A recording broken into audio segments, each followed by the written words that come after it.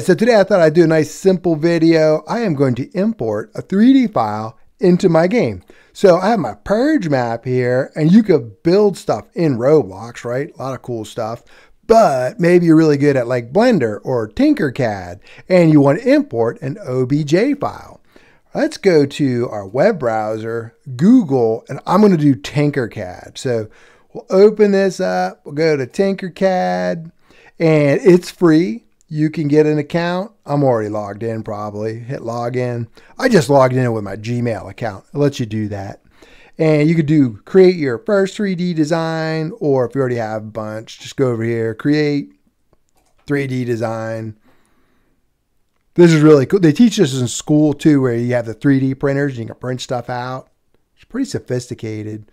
What should we do? So we get uh we get some weird random name here. You can click on it and change it if you want, but I'm just gonna I'm just gonna leave it like that. Let's go over to our basic shapes, right? Because it's not a Tinkercad video, it's an import video. So, ooh. Uh, vehicles and machinery, though, you do have to be careful. They have a lot of polygons, right? So uh, just be careful with that. We'll go structures and scenery. How about structures and scenery? And what's what's this guy? Bed. You know what I want? I want do structures. I want a shipping container. Yeah. There we go.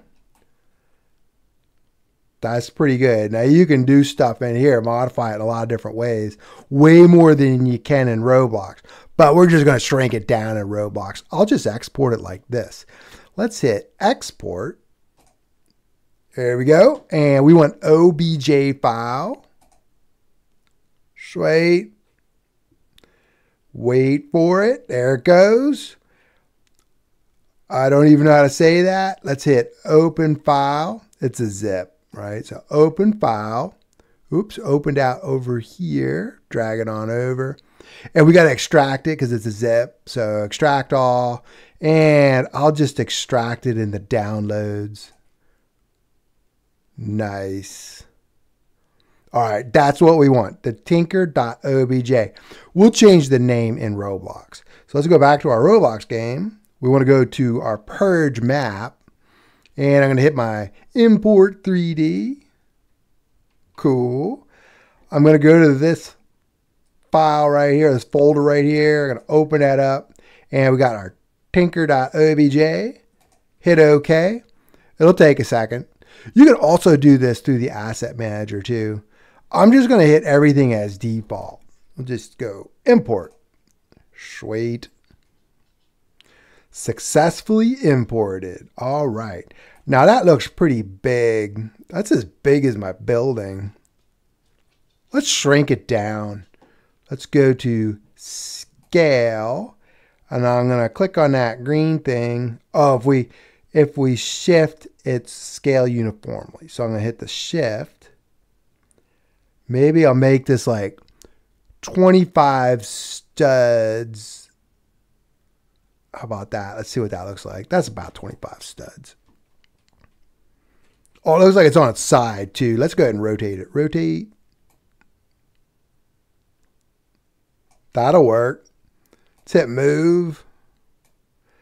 Let's drag it into our building, right? Buildings should have shipping containers. Oh, I have collisions on. Turn collisions off. And now we'll, we'll just pull it in here. Joink. Maybe bring it down a little. Hit F. That'll zoom you in a little bit. Yeah, let's put it right in between our beams. It's hard to, it's hard to do stuff inside a building in Roblox. Cool. Let's hit collisions again. I'll bump that to the ground. That'll work. All right, let's take a look at our, our Tinker object. It's right here. Let's go ahead and click on it. We'll call this shipping container.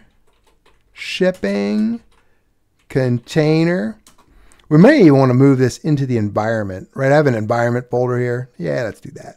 Environment. There we go. Shipping container. Let's color it. Let's open it up. Oh, and we have two groups. What's that? Oh, that looks like the hardware. Let's go ahead and change the, let's change the uh, color on the hardware. These are my properties. I don't know. Maybe like like a light green or something. And let's go to other group. What's that? Make it like a, uh, let's make it a darker green. Camo green. Sweet. All right, I'm gonna turn the shadows off too. Save some resources. Oh man, I got I got lost. There we go.